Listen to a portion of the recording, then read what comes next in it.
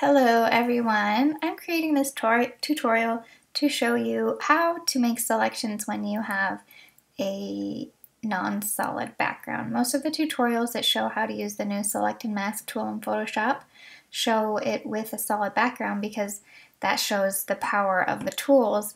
But when you have a more distracting background and you try to follow the tutorials, it doesn't work quite the right way. Let me show you what I mean. So I have my original image. Our skin tones are kind of similar to the tones um, in the background, which kind of makes using those automated tools a little bit harder because they have a harder time selecting things. So make sure you're on one of the selection tools and then you can just choose select and mask up here in the top corner.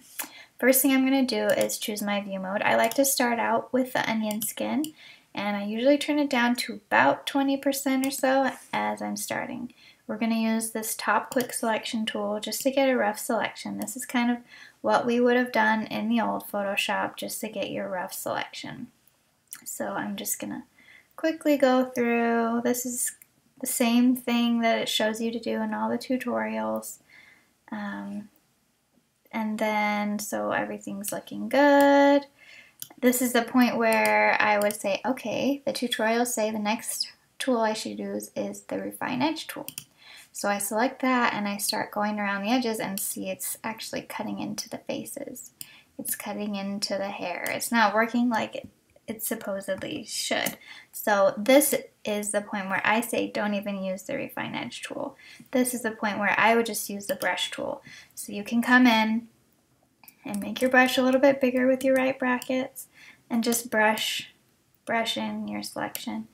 So you're perfecting it a little bit then I'm gonna turn my transparency up a little bit so I could see a little bit better where the, the problem areas are around the head, around the hair. Uh, another really cool feature is you can change it to overlay. This helps you see where there are issues inside, like if I had used the Refine Edge tool, sometimes it cuts into clothes or cuts into shirts. That red showing through really helps me find.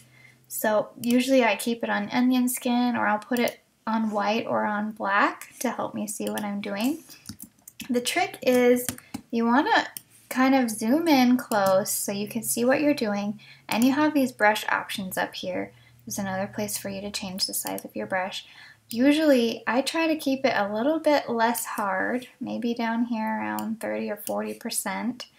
And then I'm just going to hold down, well, to add to my selection, I don't have to push anything. I can either minus from my selection here, or I just like to hold down Option. And you can get in really close, and the smaller your brush goes, the more clean your selection is going to look. So I just get my brush small and then I can go all the way around, just paint back in where it was taken out. This takes a little bit more time, but that's just the nature of choosing a photo that has a busier background. So it is possible to get a clean selection using this new tool. You also have all the same features that were in the Refine Edge tool here. So it really is a cool tool, but it's not quite as amazing as it looks in the tutorials because um, those all show you a solid background. But let me just show you. So I haven't finished this one yet, but as you can see, it is possible to get nice clean selections. Um, if I was to continue on this, I would just make sure my mask is selected over here in the layers palette choose my brush tool and start painting on black to continue what I was doing before. So that's all for you. Let me know if you have questions.